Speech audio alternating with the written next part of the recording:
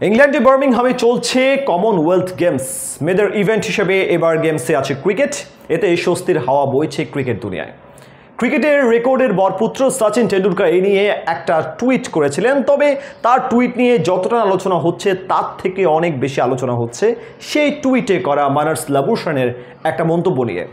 লাবুশনের মন্তব্যে ভারতীয়রা এতটাই ক্ষিপ্ত হয়েছে যে তারা তাকে ক্ষমা চাওয়ার জন্য তাগাদা দিচ্ছে। বিস্তারিত বিডি ক্রিক টাইম বুলেটিনের এই প্রতিবেদনে। কমনওয়েলথে ক্রিকেট ইভেন্ট দেখে সচিন টেন্ডুলকার বেজায় খুশি। এ নিয়ে একটা টুইটও করেছেন তিনি। সচিন তার টুইট বার্তায় লিখেছেন, কমনওয়েলথে ক্রিকেট ফিরে এসেছে। দেখে দারুণ লাগছে। আশা করি এই সুন্দর খেলা নতুন দর্শক পাবে। ভারতীয় মহিলা ক্রিকেট দলকে কমনওয়েলথের জন্য অনেক শুভেচ্ছা। সেই টুইটকে সমর্থন করে লাবুসেনে লিখেছেন, একমত সচিন। অস্ট্রেলিয়া বনাম, ভারতের ম্যাচ, দারুণ একটা উদ্বোধনী ম্যাচ হতে চলেছে। আরে টুইট দেখে মেজাজ বিগড়ে গেছে ভারতীয়দের। লাবুসেন কেন সচিনকে সচিন বলে ডাকলেন? জ্যেষ্ঠ এই ক্রিকেটারকে স্যার বলে ডাকলেন না কেন বা কোনো সম্মানসূচক উপাধি ব্যবহার করলেন না কেন?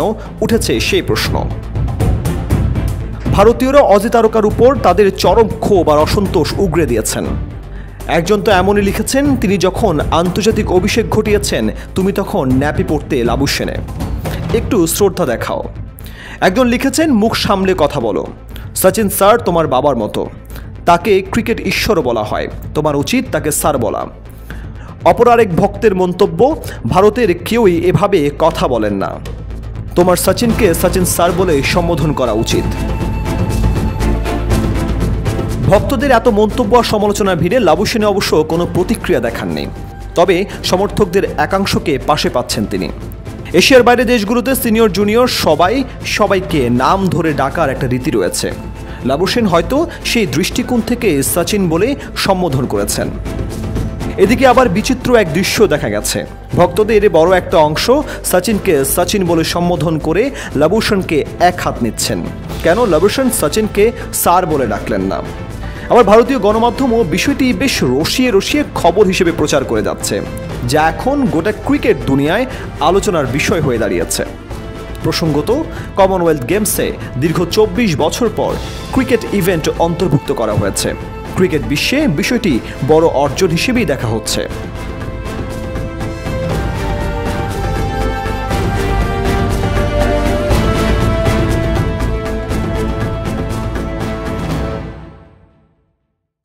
দর্শক লাবুসানের বিরুদ্ধে যে অভিযোগ এনেছে ভারতীয়রা, তা কতটা যৌক্তিক জানিয়ে দিন কমেন্টে।